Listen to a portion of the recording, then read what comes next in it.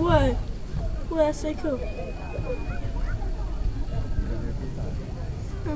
But if you are modern people who have these things called a computer, if you Google and you Google image rather than Google web, and you put in camera obscura, you will actually get all sorts of plans to build a camera obscura in a shoebox and that sort of thing. Right.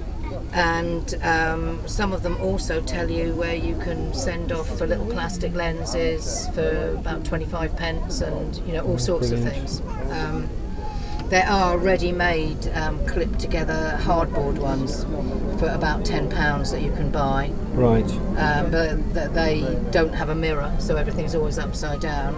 Um, but if you, you Google image rather than Google web, Yeah. Um, there are all sorts of, of, of free plans and, and, and things. That, Keep it closed. yeah, keep it closed. We're a bit full at the moment. Can we go to the house? Do You want the house? yeah. It's just so brilliant. Where's Basti?